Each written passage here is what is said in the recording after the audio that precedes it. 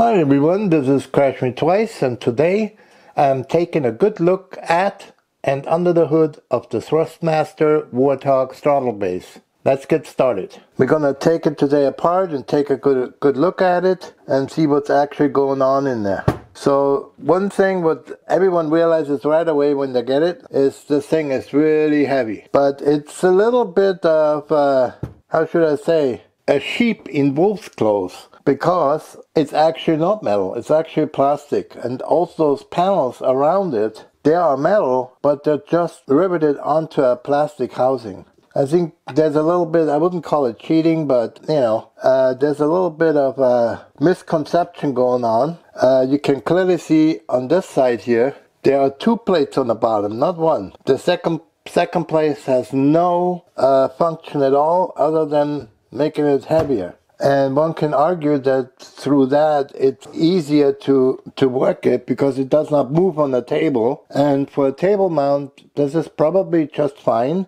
But, you know, everyone I know, they have a Simpit will mount this thing onto a chair mount. I argue that there are a lot of people just putting it plainly on the desk. If you buy something this expensive, you're usually planning on having this in the pit. Anyway, so the buttons all function very well. They function after years still as they should. This has not seen a lot of action. I wanted to have something for ED, Elite Dangerous. It worked, but it didn't just didn't do it for me very well. I wanted kind of like a more joystick type. I would have to mod throttles into more of a joystick type. Then I saw that uh, Viper throttle combo from Winwing. That's what I got. The buttons are good. They have a good heft to them, so you have to really press them to engage them. The lever works fine. It has a good resistance to it. It has a very good middle position, which can be felt. Not as good as the Orion, but good enough. That switch here is fine. Uh, I think the, the button covers are made from ABS, a high quality ABS. So that's good too. The throttle itself is, is kind of like a mixed feeling because there are a lot of plastic in here. They do have those metal kind of covers on them, but uh, the rest is plastic. So I, you know, wouldn't wouldn't prefer that over any other throttle, uh, just because of that. By the Orion 2, in in in, in hindsight, uh, we have all metal, you know, and I, I just uh, like that feel of metal and the cold feel to it. So anyway, let's get it on and get the thingy apart and see what we can discover here. Okay, so let's turn it around and take those uh, five Phillips screws out. And here you can see it's the first plate has no function at all other than weight. Here's the second plate you can take off and it's the same plate as that one. Alright, they're identical except for one thing and that is that this plate has milled out sections for the ground. This section also added just some cheap metal strips to here to add even more weight to it. So, is it necessary? I don't know. This plate does not have those milled down sections for the ground and that just goes on top but it has those rubber feet on it and that's really the only difference here. Let me turn this plate around so you can see the difference here.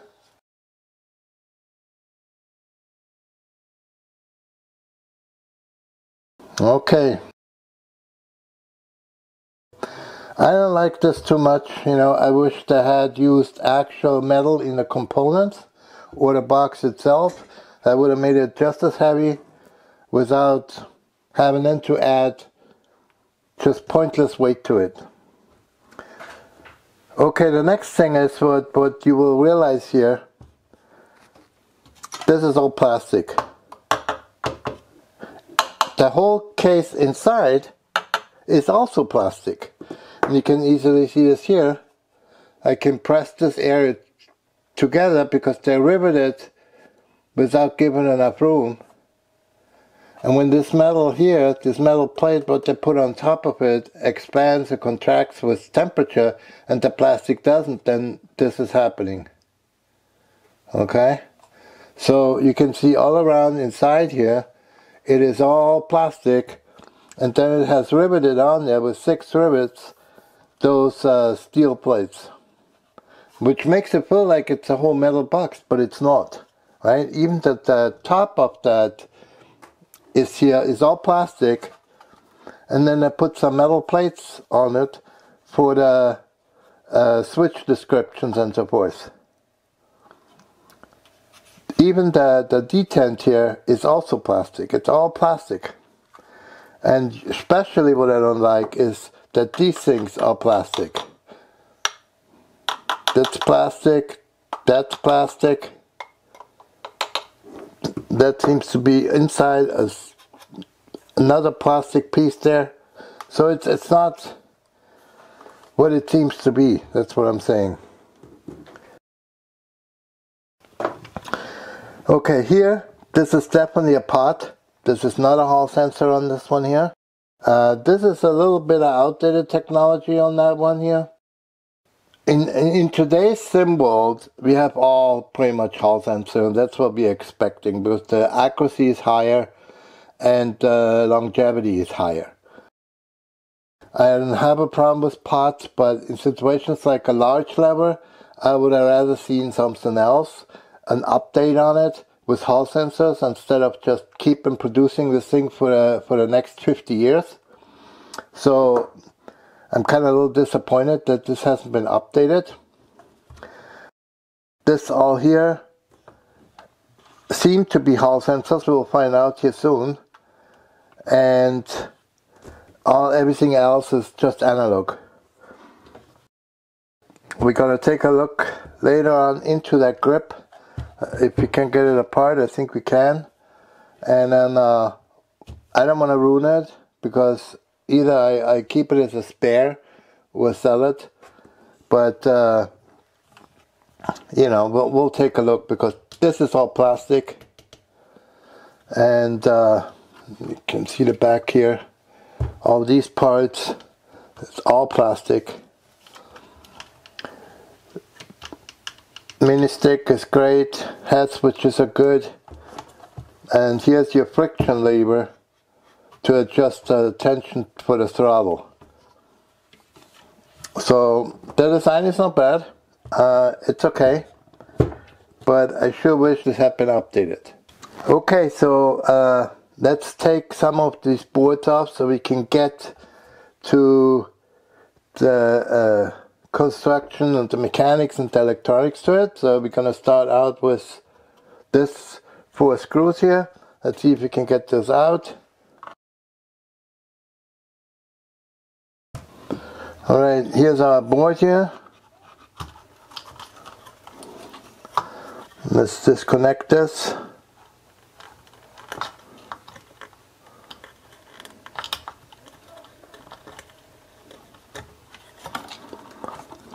And you can see it here. Here's a, the connection from this board to that board.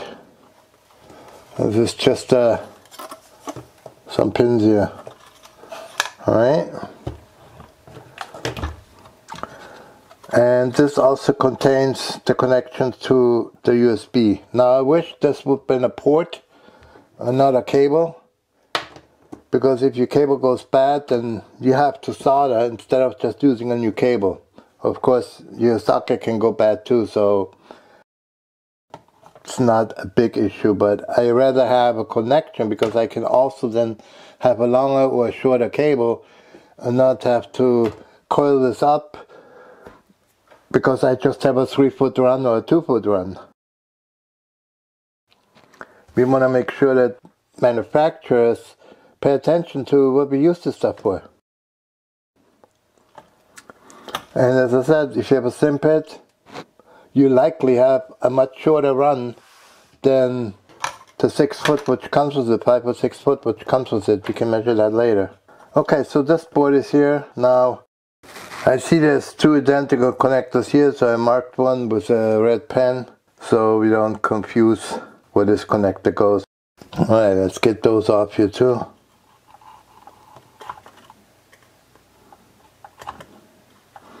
Don't grab it on a cable, try to grab it on a connector. So here's our board.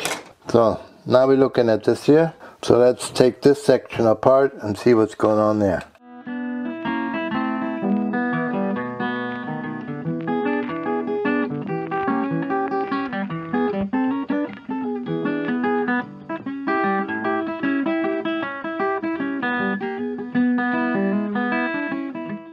Okay, these are out. Now this plate is coming loose here.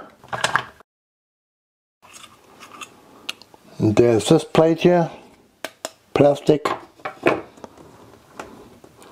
I'll put those screws in here so you know where they go. And here you can see how this works here. There's some springs in here. And here's your tension knob. So by tensioning it, you practically compressing those springs and making this rather harder to move. So it's a, a fairly simple system. Again, everything is plastic, including those rods. So let's see what we can do here on those sensors. To take a look at those, so I'm gonna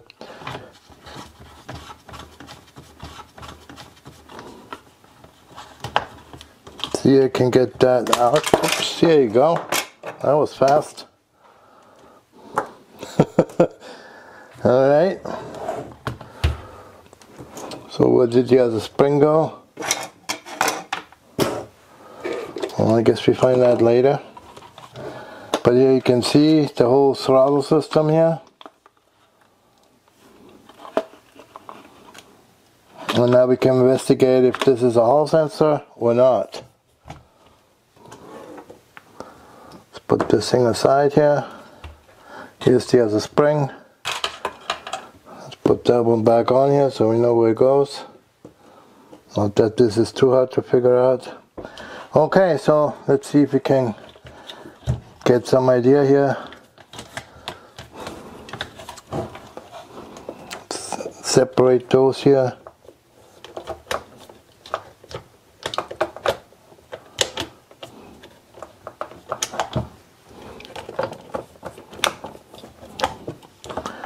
From each other. Let's turn this around.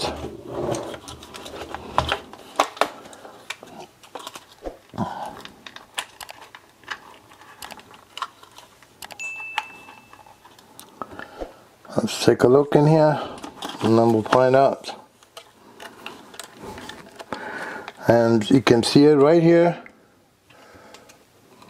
Let me see if I can get this better in, on camera here.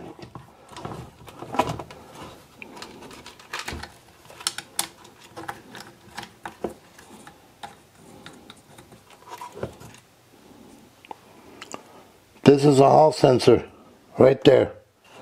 So we have a hall sensor in both of those throttles.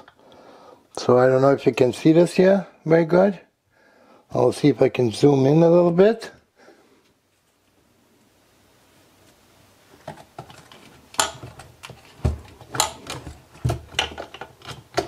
But in right in here is the magnet for it. Okay? Right in here. We can confirm these are hall sensors. And that little board with the chip just goes in here. Here you go. Here's the hall sensor sitting right in here. Okay, let's continue here. So we can now reinstall this section here and then we'll take a closer look at uh, those uh, throttle grips. Okay, so I got myself a box to get this done here because it's impossible to hold that and try to get this all in. All right, much better. Yep. Great. Now we can put our bottom plates back on here. This is the bottom bottom one, and that's the middle one. And you can see they're not even cut even. See? Just adding weight, that's all there is to it.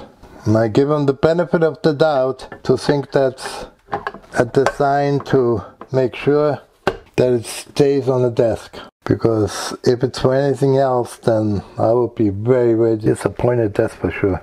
Is that correct here? Yes. As I said, low on the flimsy side. Okay. Got everything back together. It feels right. Everything should work as intended. Yeah, locking in place.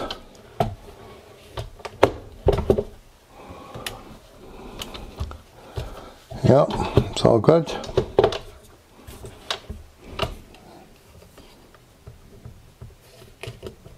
Well, book the here.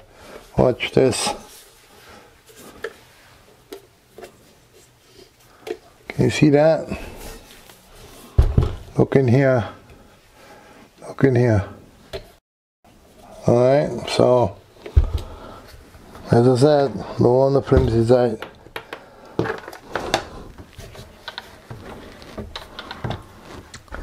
Okay, let's uh, look inside those uh,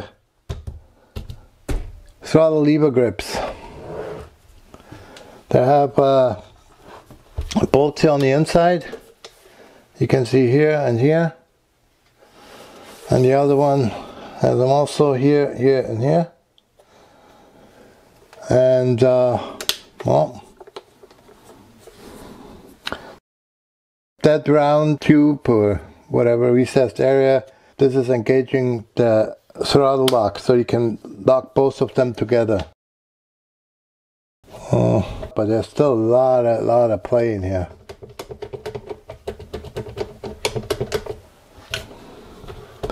Okay, it is what it is. Let's see that we can take those puppies apart and see what's inside. And I expect anything spectacular here, but you never know. Let's open one up and let's see what's going on in here. Okay. Here we are. Things are already falling out. Okay, these are little standoffs.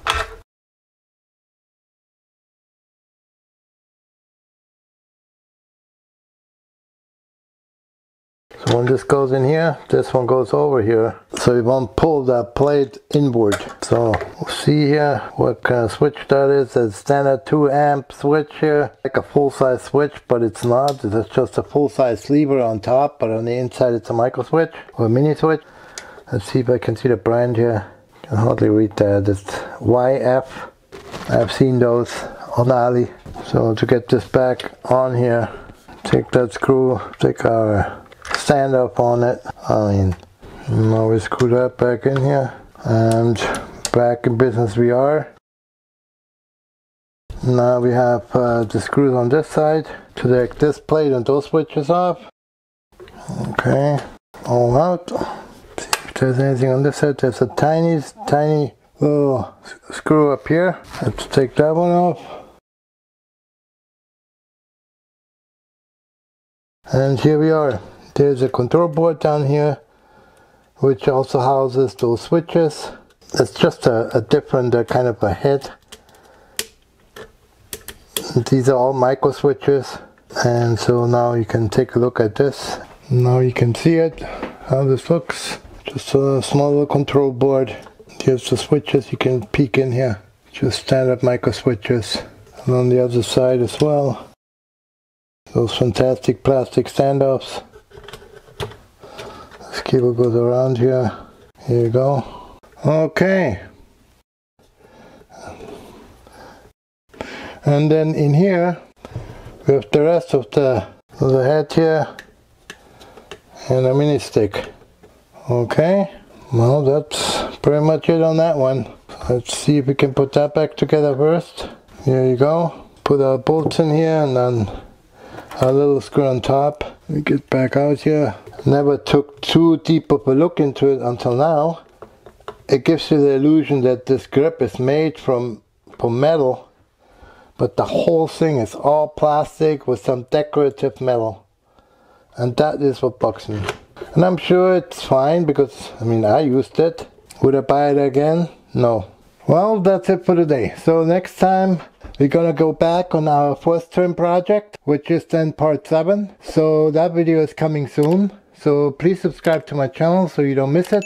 Don't forget to check out my Discord channel and visit my website at crashmetwice.com for more info on this and other projects. And if you'd like to support this channel, you can buy me a nice cup of coffee from the link below or on my website. Hope you all enjoyed this video and hope I earned a like from you.